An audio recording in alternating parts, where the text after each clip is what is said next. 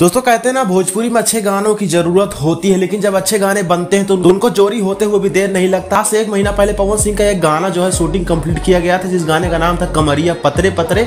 उस गाने का थोड़ा बहुत क्लिप जो है वायरल कर दिया गया था, उसको टुनटुन यादव ने उठा के गा दिया था।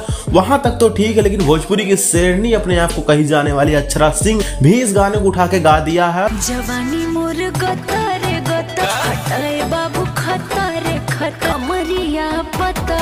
पतर जिनका व्यूज़ तो खुद के दम पे तीन ही हज़ार आता है, लेकिन जब वो किसी का गाना चोरी करके या तो फिर कंट्रोवर्सी करके गाने को गाती हैं तो थोड़ा बहुत उनको व्यूज़ मिल जाता है नेम फेम मिल जाता है, और उसी से वो फुदकती रहती हैं। और कुछ एक बार ऐसे ही फिर हुआ, पवन सिंह का गाना उन्होंने चोरी करके गा दिया, खैर इन सारी बातों को अभी छोड़ते हैं। आपको हमने जानकारी के लिए बता दिया कि कैसी कैसी चीज़ें हमारे भोजपुरी इंडस्ट्री में होती रहती है। पवन सिंह का गाना जो है, कमरिया पतरे पतरे, उसका पोस्टर फाइनली आउट कर दिया गया है गन्नायक फ़िल्म से। इस गाने को लॉन्च करना है आप लोग बीच में, गाने को पवन सिंह के साथ में, शिल्पी राज गाई हैं और गाने को लिखे रोशन सिंह विश्वास म्यूज़िक प्रियांशु सिंह का है। गाना तो वाकई में बहुत बेहतरीन है, इसकी मतलब जितने भी लाइनें हैं, सब हिट हैं।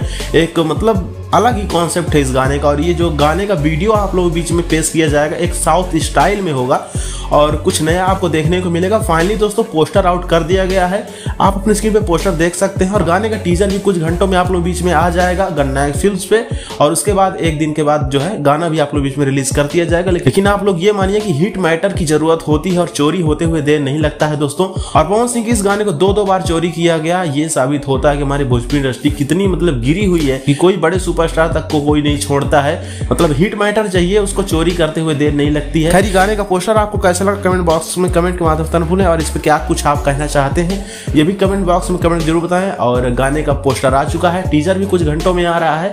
उसके बाद गाने की कोई अपडेट आती है या तो गाना कितने बजे आ रहा है, क्या कुछ है, आप चैनल को सब्सक्राइब ज़रूर कर ले। हम आपको अपडेट के ज़रिए बता देंगे। वीडियो पसंद है वीडियो को लाइक करें। चलिए मिलते किसी नेक्स्ट स्टूडियो में। देखते हैं